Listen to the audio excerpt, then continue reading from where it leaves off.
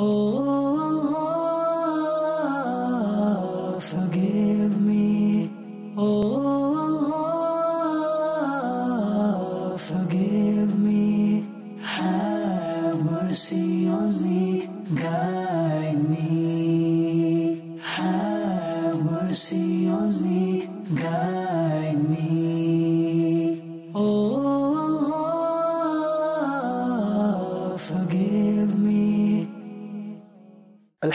لله رب العالمين والصلاة والسلام على سيد المرسلين. أما بعد فأعوذ بالله من الشيطان الرجيم. بسم الله الرحمن الرحيم. الصلاة والسلام عليك يا رسول الله وعلى آلك وأصحابك يا حبيب الله.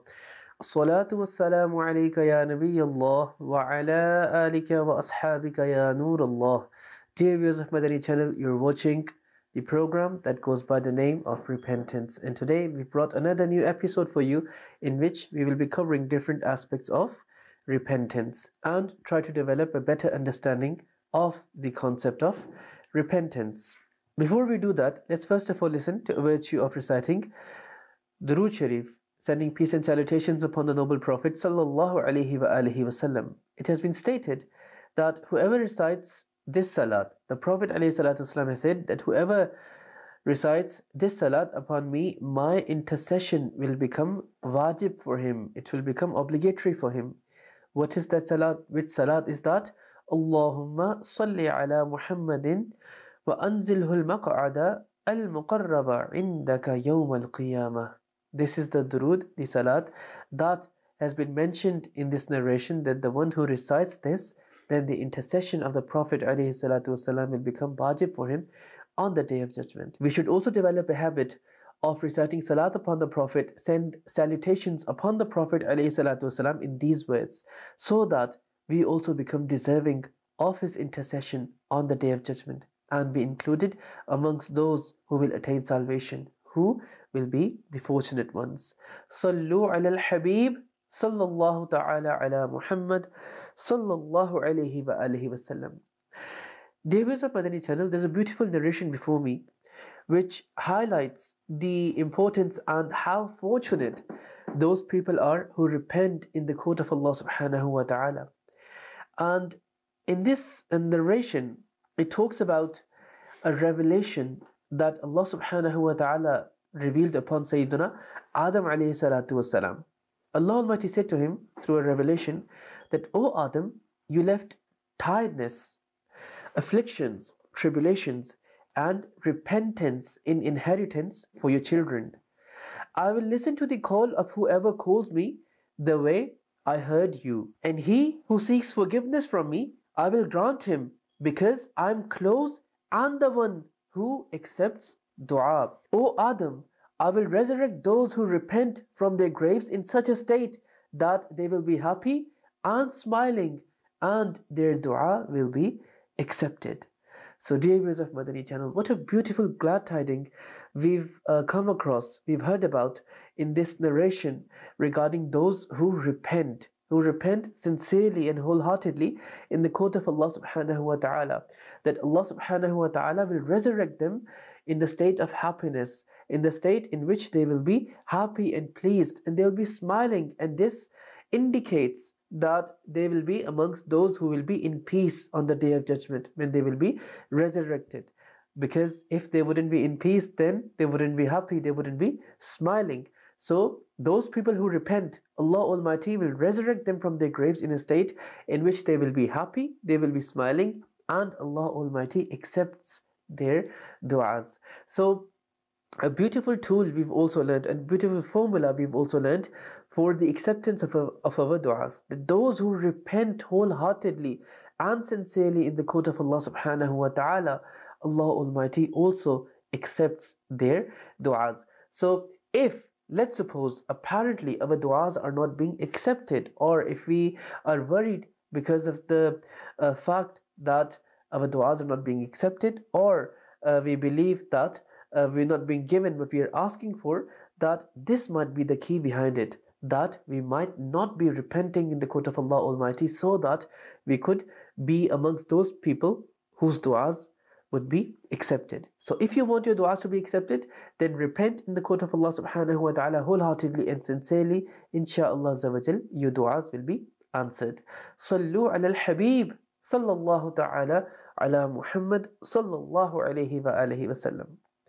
Now, what was the state of our uh, noble elders, rahimahumullah ta'ala, when it came to repentance, when it came to any kind of um, an act of indecency or any such act which in fact is uh, an act of indecency, but when a person uh, commits something as such unintentionally, then it is not a sin. But even upon this uh, very action, what would be their reaction and how remorseful they would become? Let's hear about this. Sayyiduna Majma' rahmatullahi ta'ala once looked up and unintentionally had a glance on a woman who was standing um, at the top of a roof. And he immediately lowered his eyes and felt so ashamed that he vowed to never look up again.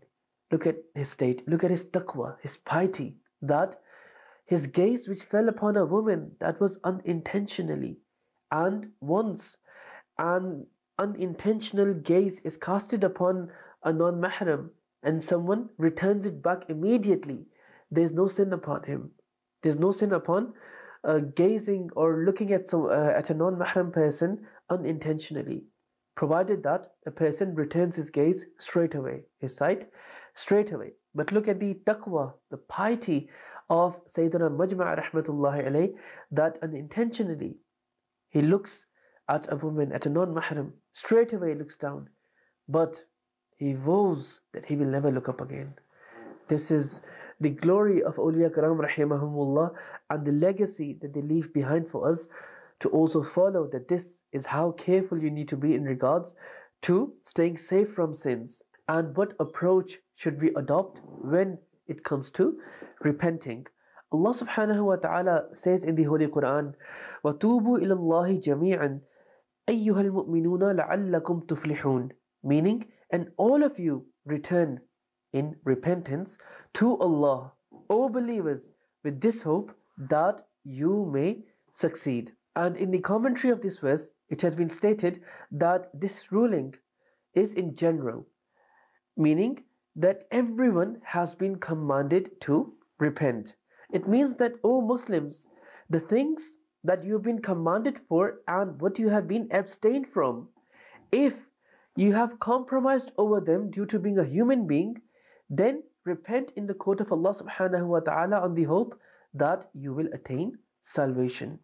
So, a beautiful Madani pearl we learn from this verse in this commentary, what has been stated that those things which we've been commanded to do and those things which we've been commanded to refrain from.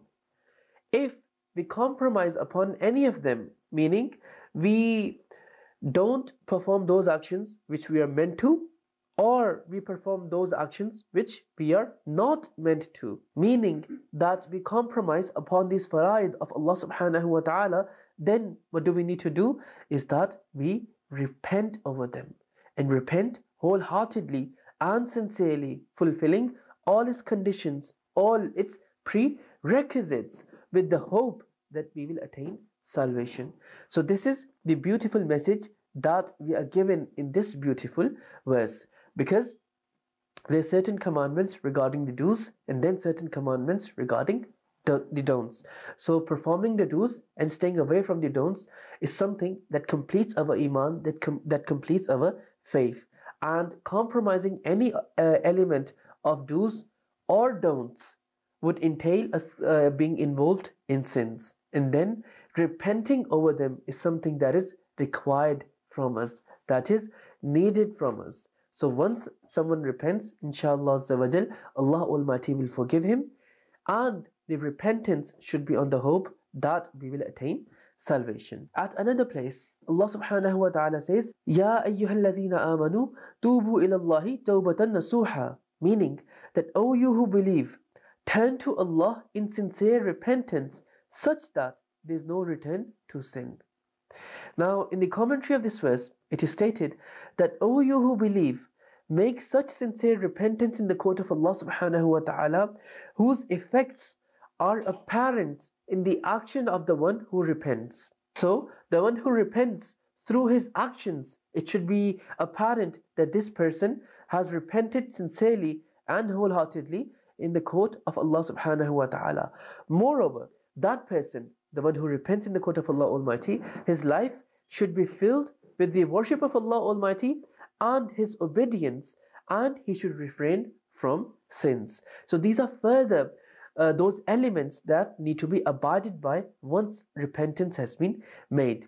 Sayyidina Umar bin Khattab radiallahu anh said to other companions that sincere repentance is the one after which a person does not return towards sin the way milk cannot return back to the udders after milk comes out of those udders.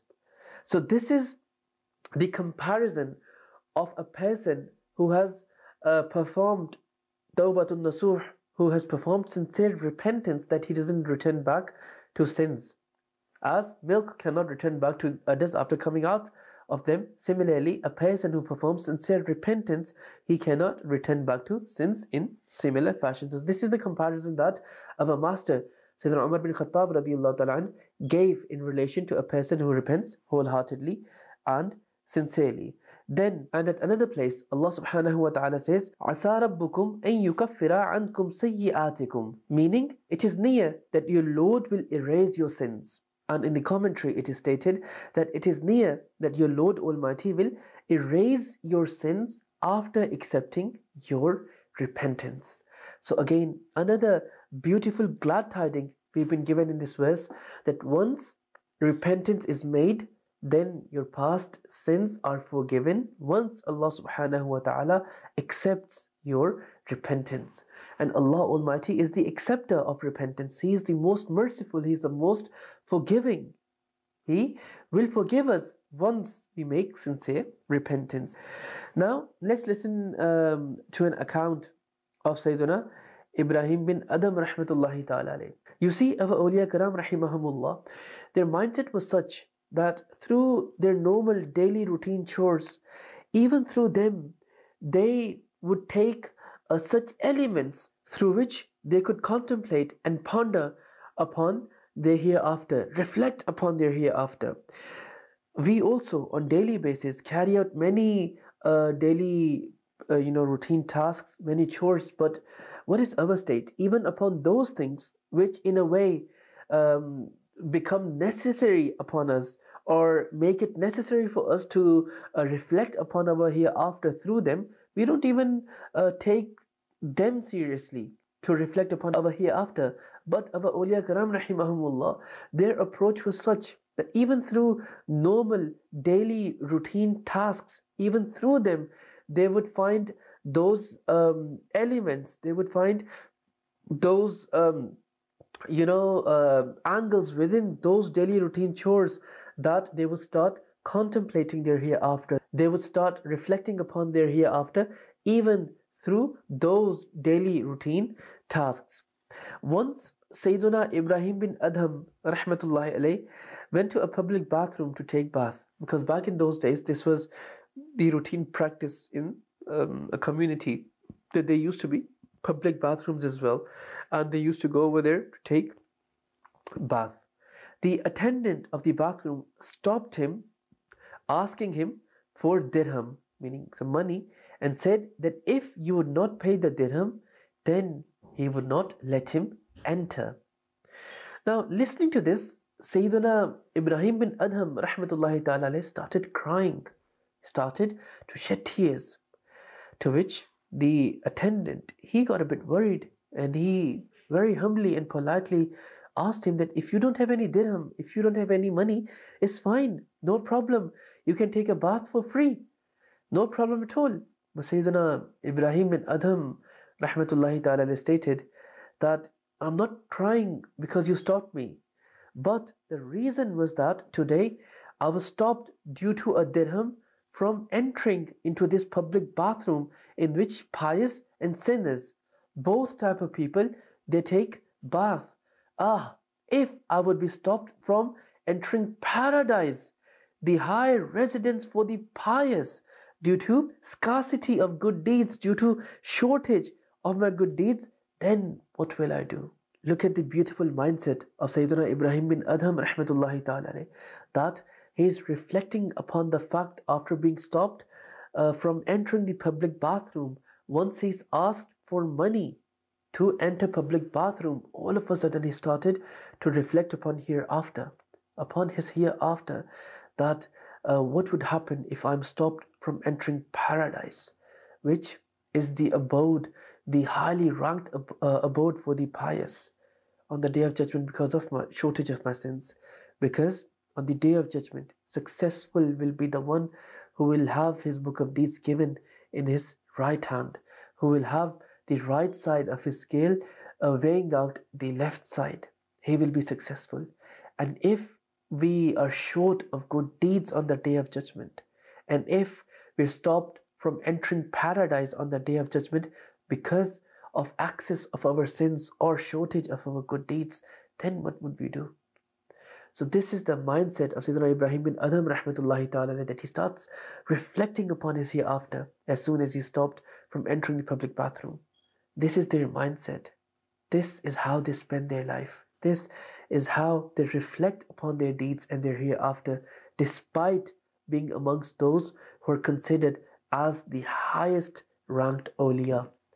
And this is one of the reasons why they attained this rank because this is how they led their life, this is how they lived their life, this is how cautious and fearful they were in regards to their hereafter.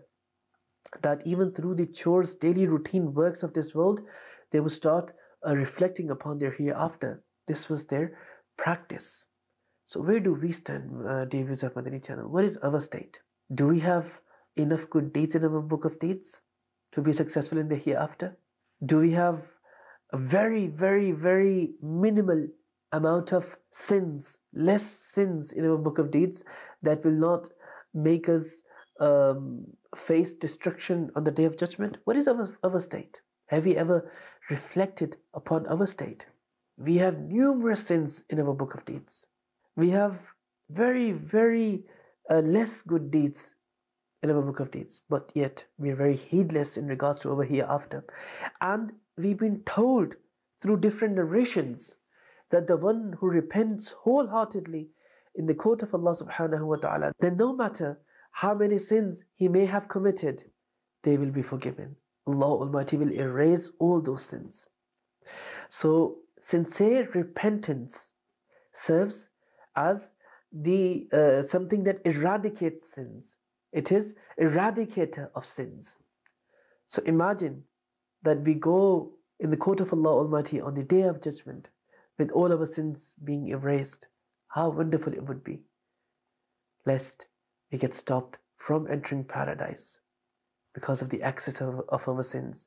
And the reason behind it would be that we wouldn't have made sincere repentance in this dunya when we still had time. Ponder upon this, reflect upon this, make sincere repentance in the court of Allah subhanahu wa ta'ala. May Allah Almighty include us amongst those who repent wholeheartedly and sincerely. And may Allah Almighty include amongst those who will be successful in the hereafter, in their graves, and also who are successful in this world. Ameen. بجاه النبي الأمين صلى الله عليه وآله وسلم صلوا على الحبيب صلى الله تعالى على محمد صلى الله عليه وآله وسلم Oh, forgive me. Oh,